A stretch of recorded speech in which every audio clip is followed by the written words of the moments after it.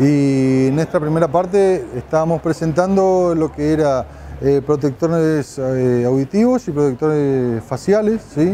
Viene el kit de máquina, está viniendo con protectores auditivos y unos lentes, unas gafas de seguridad que son gafas antigolpe. ¿sí? Eh, en caso de que el productor reciba un, golpe, una, una, rama o algo, no se van a romper, son mucho más seguras, son gafas certificadas. Y después sí, en la ergonomía más o menos estamos presentando un, buen correcto un correcto uso de, del arnés de la motobaña, donde explicamos más o menos cuál es la mejor forma de hacer el encaje ¿sí? que quede más cómodo posible. Eh, eso va a garantizar que el productor tenga un menor esfuerzo ¿sí? y un mejor anclaje de la máquina y que quede más balanceada la máquina que esté usando. Aliviana mucho la fatiga, digamos, o el cansancio en largas horas de trabajo. Eh, y después también estuvimos presentando lo que sea guantes de seguridad. Eh, reduce mucho las vibraciones que va absorbiendo el productor a las muchas horas de trabajo.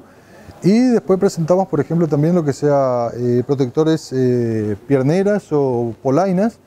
hay una nueva línea de polainas, por ejemplo, que son antigolpes, que tienen unas placas de metales que se te tenía que volar una piedra o inclusive una cuchilla no te lastimen la pierna. O sea, protege muchísimo y también hablábamos justamente con los productores, también está protegiendo lo que sea picaduras de víbora, ¿sí? una polaina de cuero. Y en lo que sea mantenimiento de una máquina, los cuidados ideales que estamos haciendo es eh, controlar un perfecto afilado de una cuchilla, una herramienta que sea exactamente balanceado, que evite las vibraciones, que eviten deformar una caja reductora de una máquina, eh, más o menos marcamos el tiempo y qué cantidad de grasa o la posición en que se debe guardar una máquina. Como vieron, la posición que están eh, en exposición las máquinas es la más adecuada para guardar.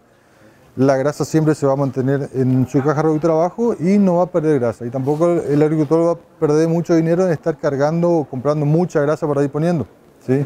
Es controlar más o menos que los rodamientos de las cajas reductoras, le, marcamos el punto eh, para que ellos eh, controlen cuál sería el punto mejor para que ellos puedan cambiar los rodamientos o que no tenga alguna rotura de rodamientos. ¿sí?